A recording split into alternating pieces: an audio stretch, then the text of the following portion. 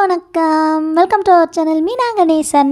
யாருக்கும் கொஞ்சம் கூட பயம் இல்லை அந்த வீரரோட பவுலிங்கால மிரண்டுட்டே அப்படின்னு சொல்லிட்டு வெற்றிக்கு அப்புறமா கேப்டன் சூரியகுமார் யாதவ் பேசியிருக்காரு. அது என்ன அப்படிங்கறத இந்த வீடியோல பார்க்கலாம். ஆஸ்திரேலியா அணிக்கு எதிரான நாலாவது டி டுவெண்ட்டி போட்டியில அக்சர் பட்டேலோட பவுலிங் ஆச்சரியத்தை ஏற்படுத்தி இருக்கிறதா இந்திய அணியோட கேப்டனான சூரியகுமார் யாதவ் தெரிவிச்சிருக்காரு. ஆஸ்திரேலியா அணிக்கு எதிரான நாலாவது டி டுவெண்ட்டி போட்டியில இந்திய அணி இருபது ரன்கள் வித்தியாசத்துல அபார வெற்றியை பதிவு செஞ்சதோட டி டுவெண்ட்டி தொடரையும் மூணு ஒன்று அப்படிங்கிற கணக்கில் வென்றிருக்காங்க. இந்த போட்டியில முதல்ல பேட்டிங் ஆன இந்திய அணி இருபது ஓவர்ல ஒன்பது விக்கெட்டுகள் இழப்புக்கு நூத்தி எழுபத்தி நாலு ரன்களுக்கு வச்சிருந்தாங்க. அதிரடியா ரிங்கோ சிங் நாற்பத்தி ஆறு ரன்களை விளாசி அசத்தி இருந்தாரு. அதுக்கப்புறமா கிளம்புறங்க ஆஸ்திரேலிய அணி இருபது ஓவர்களில் ஏழு விக்கெட் இழப்பிற்கு நூத்தி ஐம்பத்தி நாலு ரன்கள் மட்டுமே சேர்த்து தோல்வியை சந்திச்சிருக்காங்க. இந்திய அணி சார்பில் அக்சர் பட்டேல் மூணு விக்கெட்டுகளையும் தீபக் ஷகார் ரெண்டு விக்கெட்டுகளையும் வீழ்த்தி இருந்தாங்க இந்த வெற்றியின் மூலமா கேப்டனா பொறுப்பேற்ற முதல் டி டுவெண்ட்டி தொடர்லேயே ஆஸ்திரேலியாவை வீழ்த்தி சூரியகுமார் யாதவ் அசத்தி இருக்காரு வழக்கமா சாம்பியன் அணிகளை எதிர்த்து இந்திய அணி விளையாடும் போது சொல்ல முடியாத பதட்டம் இந்திய வீரர்களுக்கு இருக்கும். ஆனா சூரியகுமார் யாதவோட கேப்டன்சியில் இந்திய அணி எந்த ஒரு பதற்றமுமே இல்லாமல் ஆனது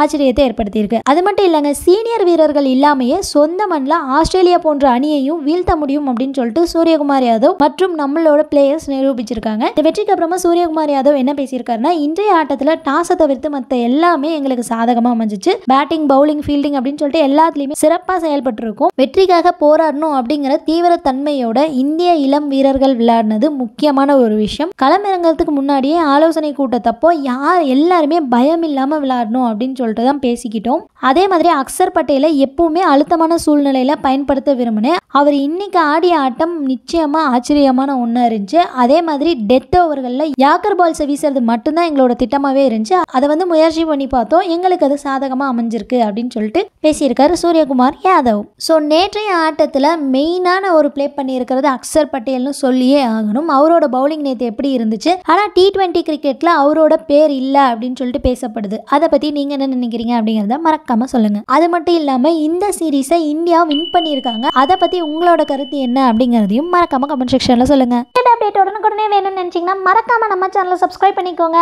அடுத்து வேற ஒரு எக்ஸ்க்ளூசிவான அப்டேட்டோட நான் உங்களை சந்திக்கிறேன். நன்றி. This is Meena Ganesan. வாழ்க தமிழ் வாழ்க வளமுடன்.